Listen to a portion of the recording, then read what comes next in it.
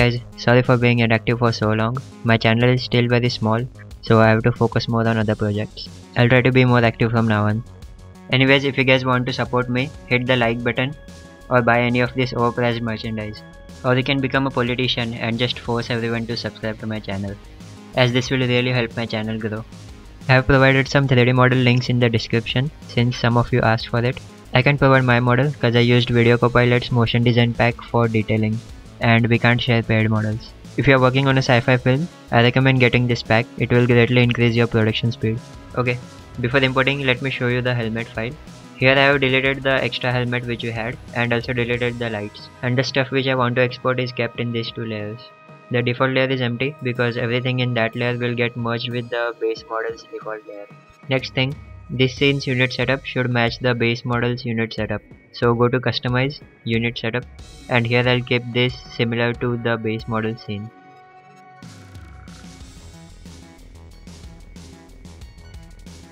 Okay, save this and I'll open the base model file. To import the helmet, simply drag and drop the helmet file in the viewport. Select merge Check on apply to all duplicates and auto rename merged materials. This way none of your materials get deleted. Now click once to place the helmet. Let me check if it's working properly. Okay. Now use the parent dummy and place the helmet on the head. Adjust its scale and all. I'll select all helmet parts and press Alt plus X to make them semi-transparent. If the shortcut doesn't work, select the object, right click, object properties and change this by layer to by object. Hit OK and now Alt X will work. Now to further place it accurately on the head, I will just keep the eyes and the chin part and hide everything else.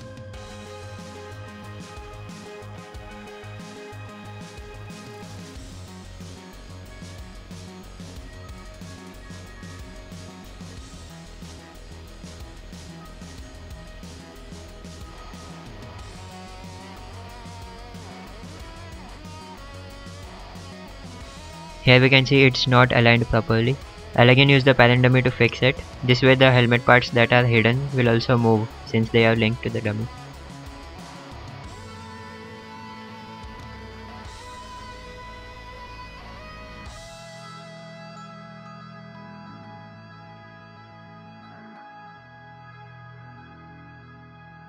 By the way, press Alt plus W to maximize and Ctrl plus X for expert mode.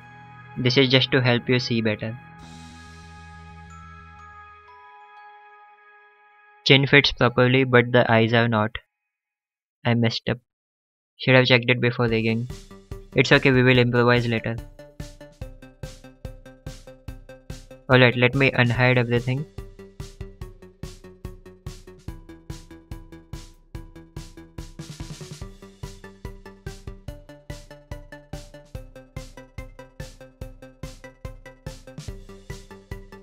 Okay, now adjust the character model so that there is no overlapping or gaps. Like this one. Hard shadow will be generated in this area which we don't want. So let's fill this gap. I'll add another edit poly. Select vertex. Turn on turbo smooth so that we can see the final result. Select show cage and make the adjustments. Just fix the areas which will be visible in the camera.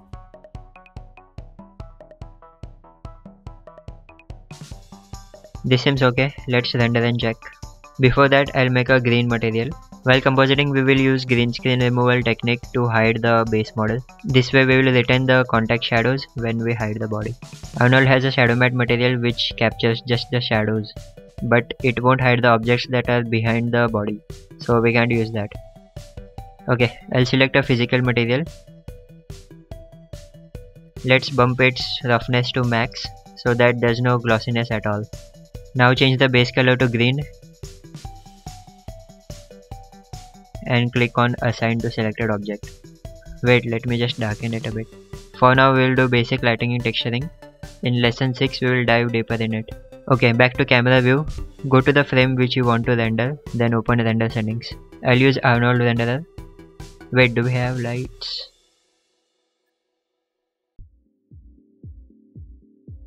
Nope okay create a uh, not light.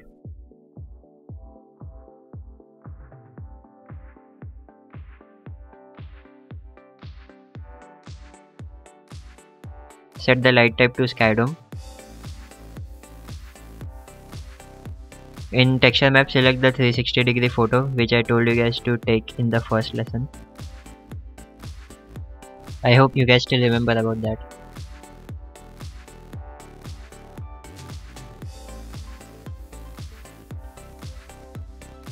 Now hit render.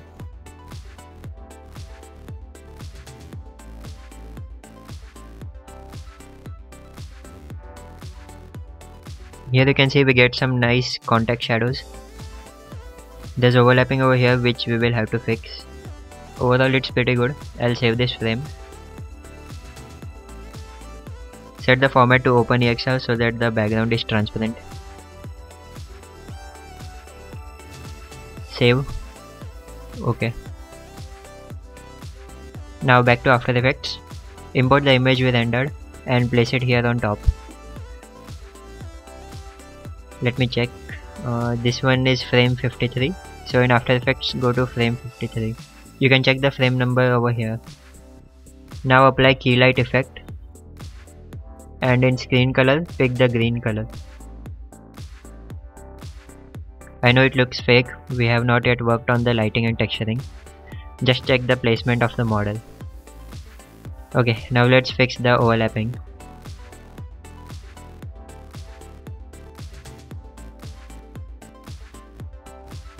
I'll render again from another angle. Let's do frame 101 and I'll open this a bit more.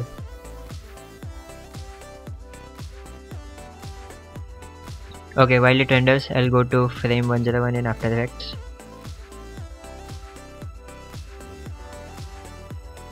Hide this one and I'll rename it to the frame number. Okay, same steps again.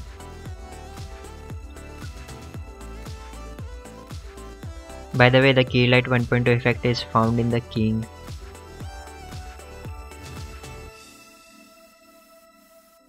Okay, placement looks good. The face and hair is getting cut off a bit.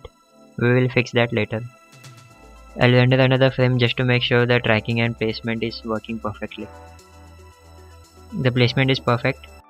The hair doesn't fit in because obviously it gets squeezed inside whenever you wear any type of helmet. Unless you have a helmet. We will also fix this one while compositing. I'll fix the eyes because they are not matching, then we can start animating.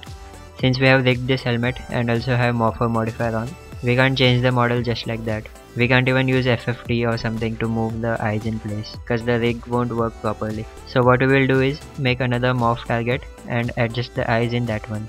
Okay, make a copy. This morph target will not be connected to the controller. Delete morpher from this one select element and select the eyes then select polygon and select the corners which are near the eyes.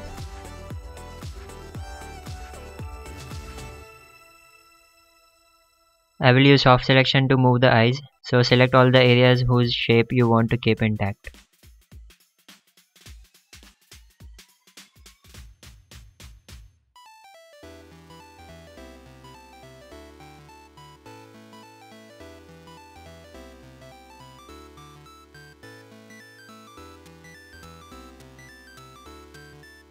Now turn on soft selection.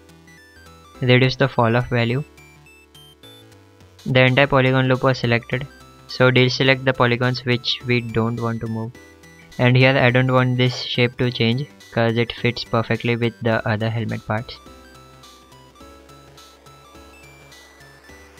So I'll deselect that much and do the same on the other side. Now move this up. Wait, undo and control click on vertex over here then move up. It works better with the vertex selection. Hold on I'll just increase the fall off value. Okay. The shape still doesn't remain intact so I'll select another polygon loop.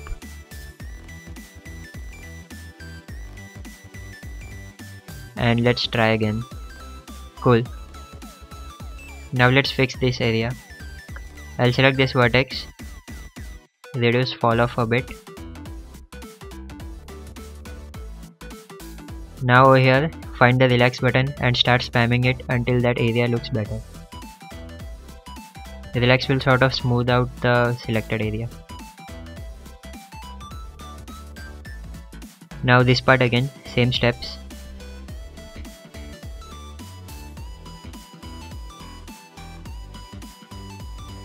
Alright, not the best way to fix this, but you know, I like shortcuts.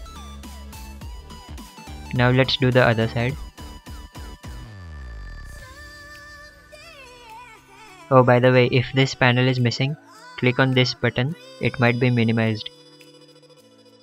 So this is what you may have, just hit the show ribbon button and remember in modeling tab these options won't show up until you have edit poly applied on the object. In case all of these panels are missing as well, then right click in this area and click on ribbon. I just unchecked it. Yes, this panel is called ribbon. Okay, back to relax. Nice. Also if you click on this arrow you get relax settings. You can use this to fix the shape at once. Won't have to spam the button. Okay, now back to the original helmet. In Morpher select another slot and pick this as target. Now change this value to bring the eyes in place. I'll add other stuff again and let's check. Okay, this fits better unhide everything and let's check if the controller is working yes it is okay I'll unlink this one and throw it with other targets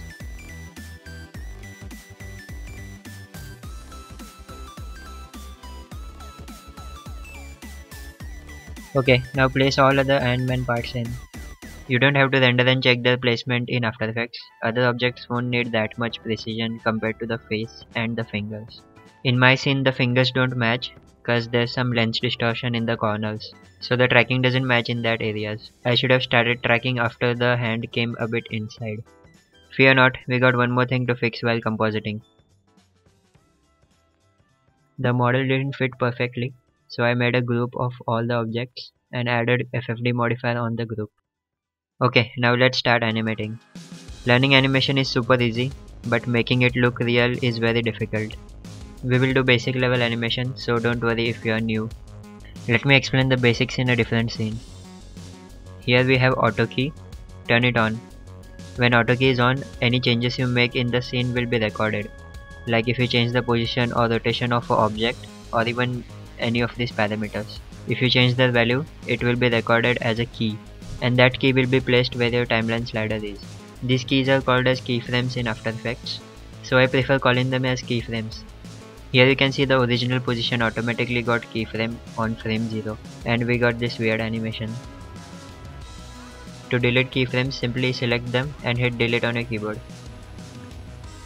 Now if I move this, auto key won't set a keyframe on frame 0 unless you have some keys set somewhere. Okay, now I want to set a keyframe without moving or changing any values. For that hit this plus button, its shortcut is K. Here it gave us the position, rotation and scale key. Position key is red, rotation key is green, scale key is blue. Press K and you get all three together. Go over here to the key filters and check whatever you want to animate. You can select and move any of these keyframes. But if you have overlapping keyframes just like this one and you just want to move the position keyframe, then go to graph editors, then select either of these. I'll select curve editor. Here if the object is selected, its keyframe will appear automatically. If not, then find that object in this list. You can see we have position, rotation and scale selected. I'll select just the position then select the keyframe over here and move them okay this is oops so this is how you can separate the overlapping keyframes okay now let's try set key you need one of these on if you want to animate anything in set key your changes won't be recorded you will have to hit this button or press K to place a keyframe I always prefer to use auto key mode now let's animate some parameters. Oops, turn on auto key. I'll get rid of all these keyframes. With auto key on, simply change the value. That's it. All parameters give us black keyframes. It may get confusing sometimes if you are animating multiple parameters. In such case, to find out which keyframe is of which parameter, you need to simply go on a keyframe, then check the parameters. This red bracket will appear on the animated one. The bracket will show even if the auto key is off. Alright, let's go back to Iron Man. First, let's animate the helmet. So select the helmet's parent dummy, set the coordinate system to local. Now go ahead in the timeline. I want the helmet to land somewhere around this frame. We can change it anytime. Now turn on auto key. All the parts are already in place, so we have the final position. They have already landed, so we just need to animate the flying part. So without moving anything, I'll set a keyframe over here. Now go backwards and move it to where you want it to come from.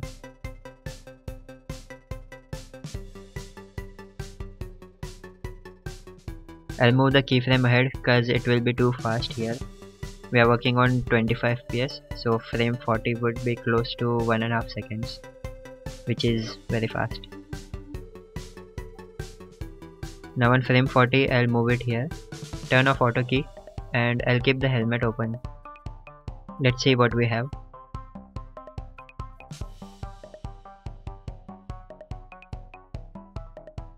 Okay, now let's refine the animation. Auto key again, I'll give it some rotation. We won't get a rotation key on frame 0 because we have one rotation keyframe on 60.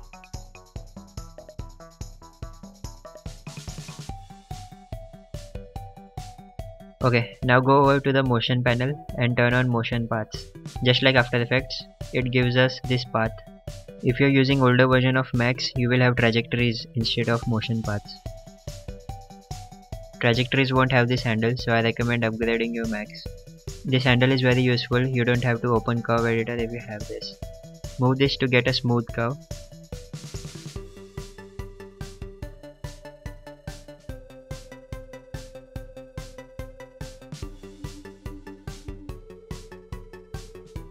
Here we have three options, break, unify and auto.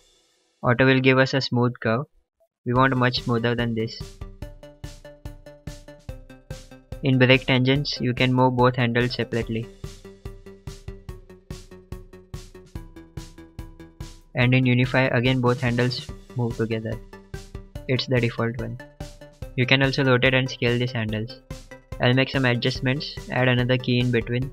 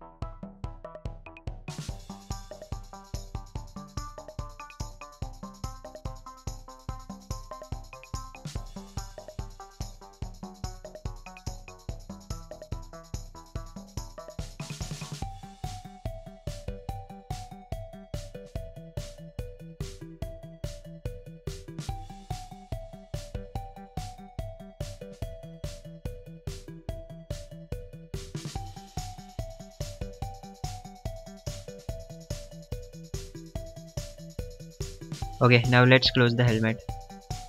The closing animation can start from here. So select the ring, hit set key, delete the keyframe set on 0, we don't need it. I don't know why Max made a black keyframe, it should be green. We will close it somewhere around here. Okay, let's see what we got.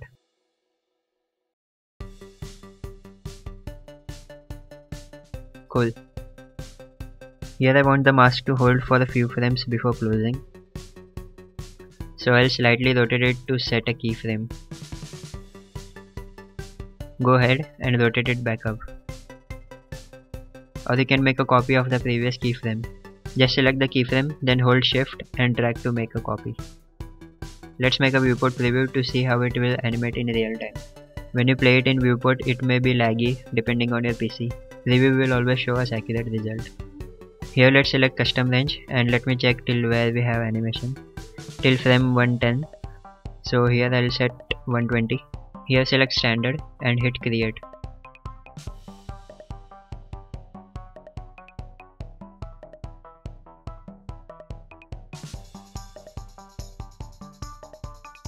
Okay, I'll animate 2-3 objects more since they don't have a custom controller. Let's do this part. The FFD grid is very annoying. I'll add a push modifier just to hide that grid.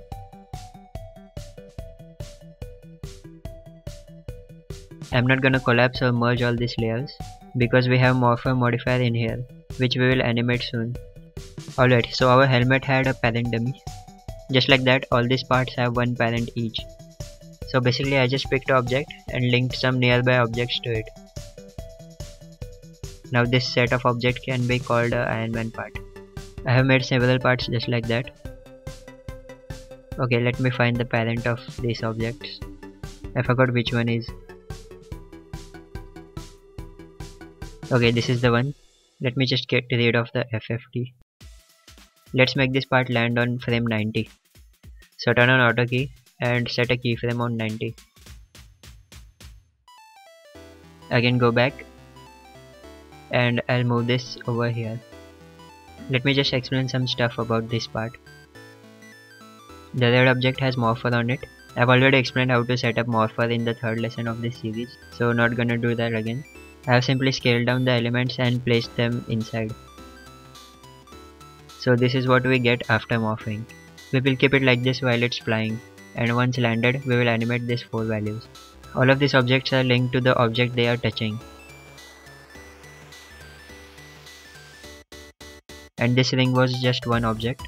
I placed its pivot in the middle, then detached it into four different pieces, while keeping the pivot as it is.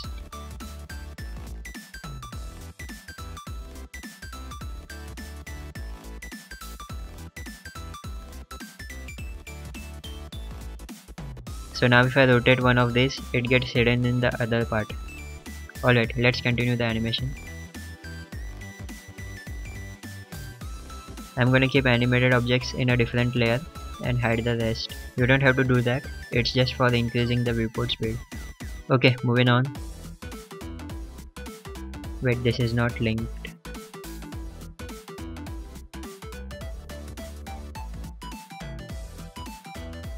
Okay, good.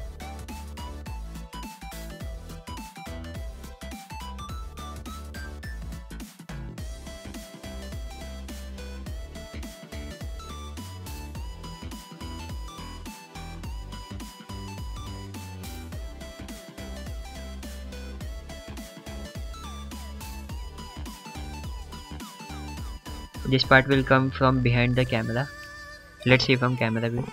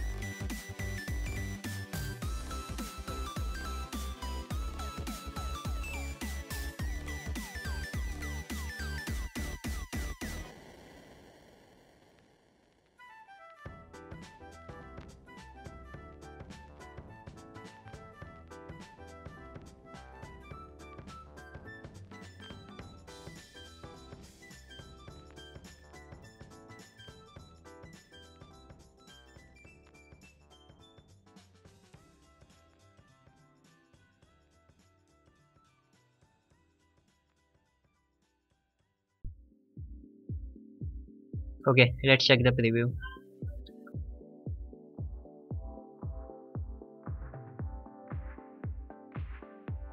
It's slow in the end, I kind of wanted to snap on his shoulder.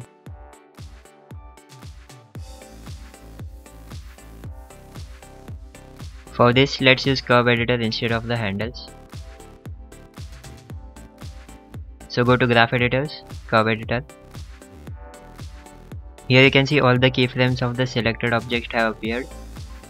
I'll select the last keys and click on set tangent to fast. Using this will make the animation faster. We use the easy ease in After Effects for similar result. Okay, now let's play.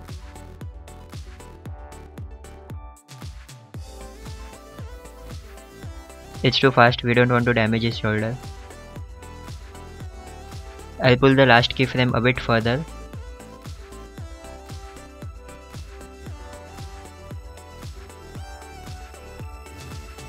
Cool. Now the remaining objects.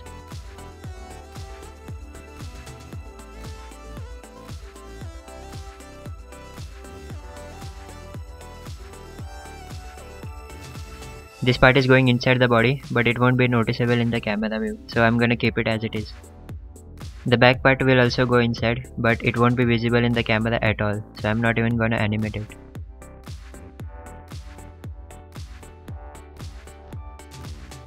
Cool, now let's do the morpher.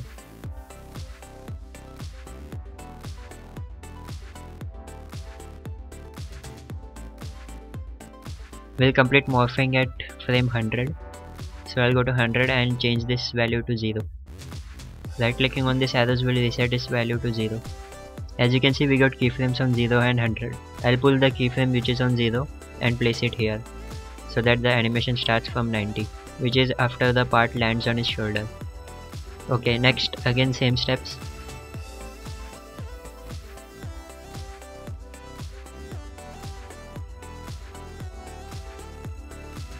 this is what we get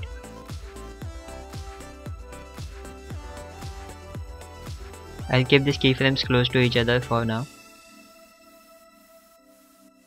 Now do the third one. We will end it here. Okay, now last. Cool. So this is what we get. Easy, right?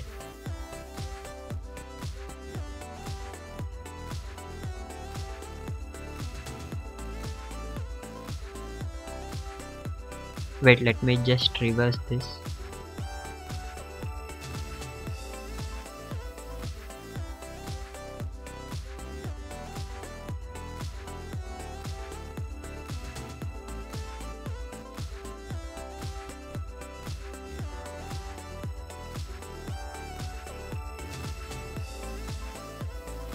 okay this is actually the correct order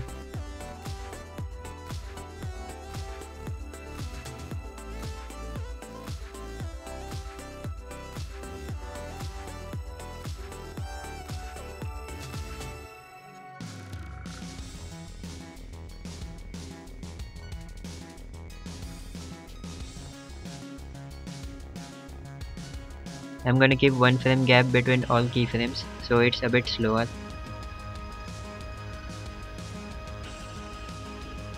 Okay, let's see.